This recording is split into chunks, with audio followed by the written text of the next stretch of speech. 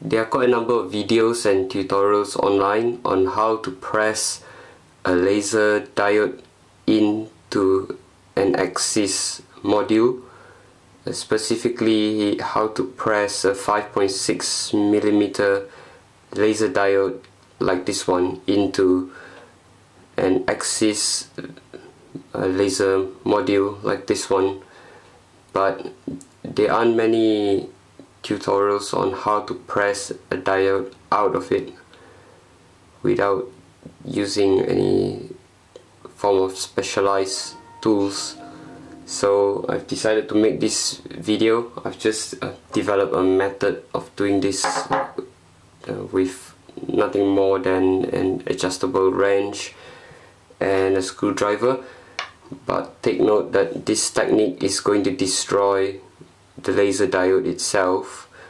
So although it will preserve the AixiZ module itself um, so a new diode can be pressed in but this this technique will definitely destroy the, the existing diode that's already in it.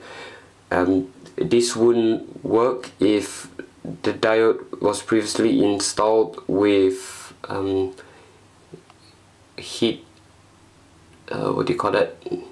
Uh, heat epoxy uh, heat heat con conductive epoxy.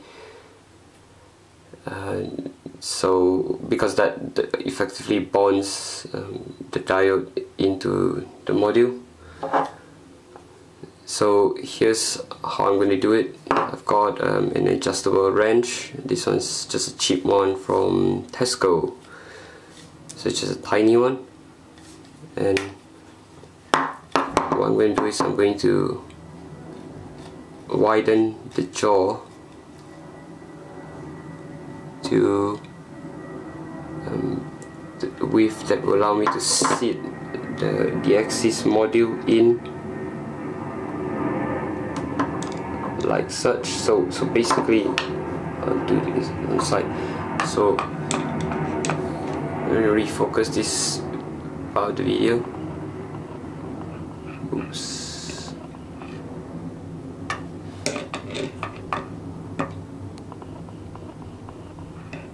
Okay you want to get the width of the wrench?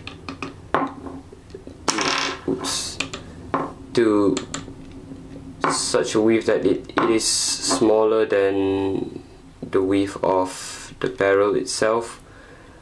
Um, so obviously with, with that it will be it will be um, able to hold on to the barrel itself where the grooves are.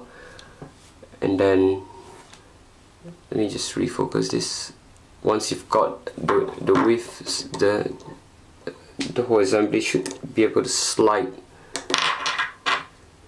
Oops. it's a bit slippery. The, the whole assembly should be able to slide back and forth like that so obviously you want to slide it all the way to the end and then just lightly tighten the wrench. You don't want to apply too much pressure on the, the housing itself. So now it's seated very nicely there and the wrench is supporting the, the assembly on the bottom of it. Like that. So now all we need is to press the diode out while the wrench is on the table. I've got this um, this is a square head um, hex bit.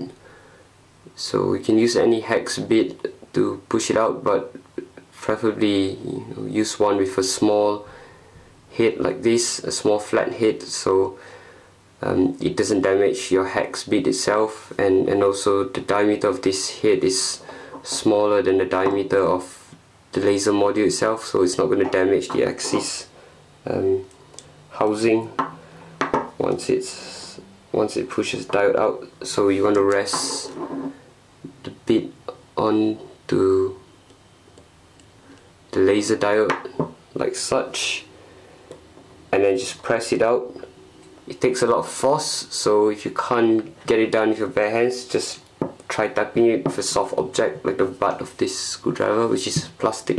Just like that. There you go. Diode is just dropped out. And now the module is ready to house a new diode. Now pressing a new diode in is a bit of a, a job that requires high precision.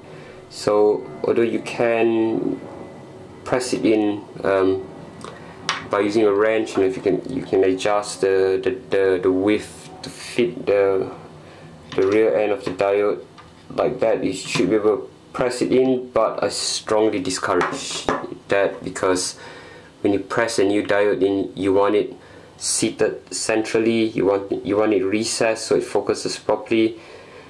And diodes are very very fragile um, highly sensitive equipment. So it's better to just order a proper press diode press um, off the internet rather than trying to um, improvise with what you already have um, because it's just not worth risking an expensive laser diode by uh, pressing it in the wrong way.